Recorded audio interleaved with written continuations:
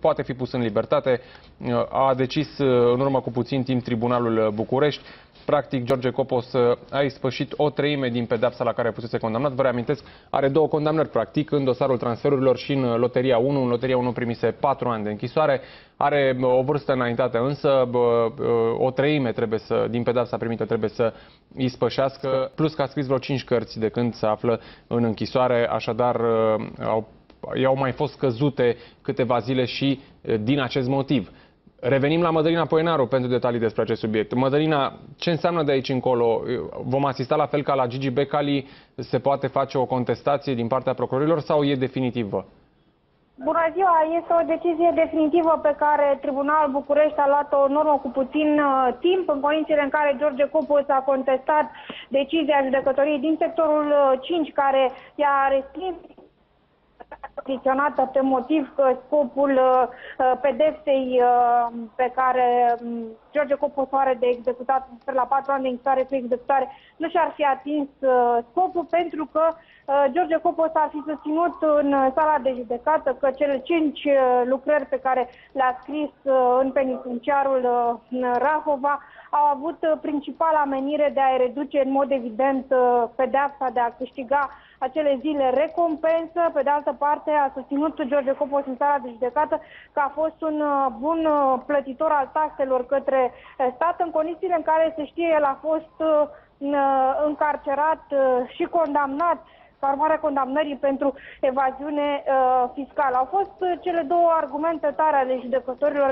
de la din sectorul 5 care au respins inițial liberarea condiționată, însă iată, tribunalul a răsturnat această soluție și a dispus liberarea condiționată a lui George uh, Copos, care inițial a fost uh, condamnat în dosarul uh, transferurilor, iar apoi a mai primit o, o condamnare în dosarul Loteria 1. Interesant a fost că George Copos uh, a reușit tot în instanță să scape și de sporul de pedeapsă de șase luni uh, de zile. Inițial, o primă instanță dispusese să execute patru ani și șase luni, apoi s-a dispus definitiv uh, ca acesta să uh, execută o pedeapsă de patru ani. Iată că tribunalul a decis că acesta să părăsească penitenciarul, o chestiune de foarte puțin timp, uh, două, două, trei ore maxim, până când George Copos va deveni un om uh, liber. Mulțumesc, Mădălina, și pentru detaliile oferite pe acest subiect. Liliana Năstase este editor B1 TV, este în legătură telefonică directă cu noi.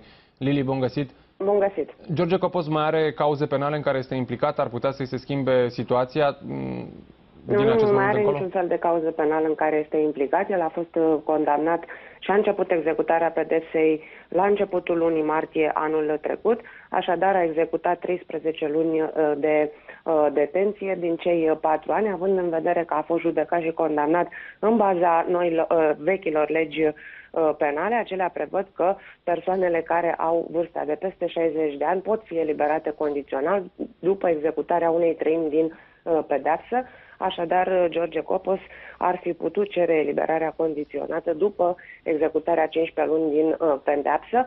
El a putut să facă acest lucru acum și s-a și aprobat solicitarea, având în vedere că uh, a muncit pe timpul detenției, astfel încât i s-au mai scăzut două luni din pedeapsă și de asemenea a și contribuit la scrierea unei cărți în, uh, în perioada în care se afla în uh, arest, pentru care, având peste 60 de ani, o conduită bună, participând la activități socioculturale și educative, instanța de judecată a decis eliberarea sa condiționată, urmând evident ca pe parcursul perioadei de încercare uh, să, uh, să nu săvârșească infracțiuni de același uh, gen și, evident, să îndeplinească toate condițiile pe care le-a impus instanța de, definitivă de eliberare condiționată.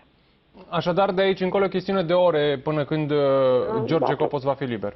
Aproximativ două-trei ore urmează ca instanța de judecată să trimită documentele către uh, Administrația Națională a Penitenciarelor uh, și cel mai probabil în maxim trei ore George Copos va fi uh, eliberat prin primul uh, eliberat din lotul uh, celor condamnați în dosarul uh, transferurilor, chiar dacă a avut o pedeapsă mai mare decât Uh, spre exemplu, uh, Gică Popescu, însă, având în vedere că el are vârsta de peste 60 de ani, a beneficiat de acea prevedere uh, legale, de altfel, conform căreia persoanele care au această vârstă pot cere eliberarea condiționată după executarea unei treimi din, uh, din pedeapsă. Acum, pe noile uh, coduri penale, este după executarea efectivă a jumătate din pedeapsă, însă dosarul transferurilor, dar și dosarul loteria în care George Copos a fost uh, condamnat, au fost uh, uh judecate și a primit condamnarea în baza uh, vechiului cod penal și codului de procedură penală. Mulțumesc, Liliana, pentru uh, toate detaliile oferite. Va fi eliberat așadar